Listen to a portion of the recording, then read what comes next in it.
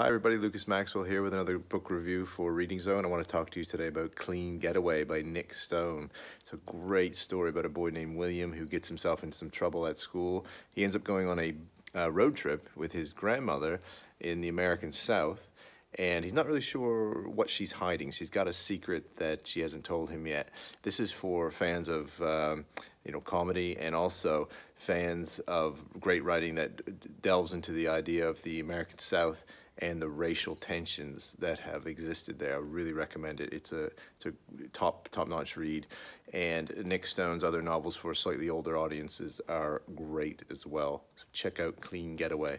That's it. Take care. See you later. Bye.